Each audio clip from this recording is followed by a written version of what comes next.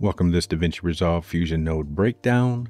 Today's node is the smear node. And uh, this is going to be a super short one.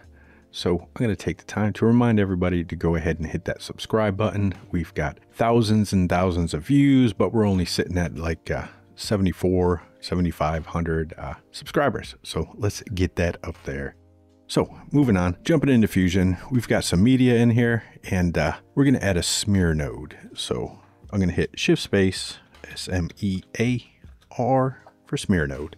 And let's go ahead and bring that up. And what the Smear Node does is it simulates motion or uh, motion blur. And it does an okay job, but it's not too realistic. So let's go ahead and zoom in here on uh, one of these little graphic things here so we can uh, find one that's kind of by itself.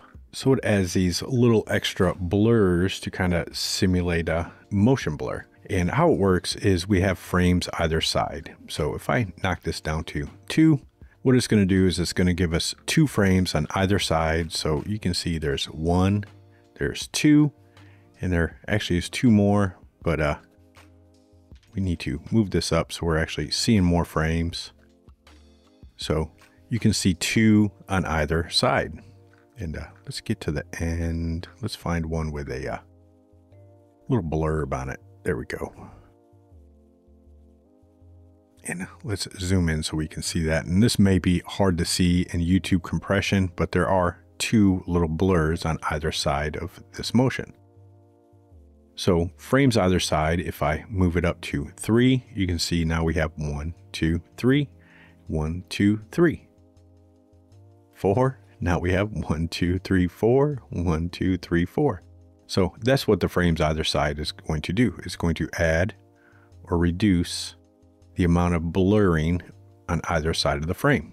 To control your coloring or what is actually getting blurred, we have two uh, little sliders here, one for Luma, one for Chroma. The Luma slider, if we reduce it, that means only darker things are going to be introduced into the blur.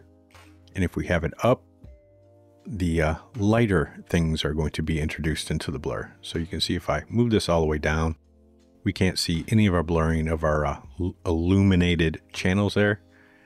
But as I raise it, you can see more. And same with our chroma. If I lower it, only darker saturated uh, pixels are going to be introduced. And if I raise it, higher saturated pixels are going to be introduced. So now we have motion blur on either side. So that is the smear node. I will see you in the next node breakdown.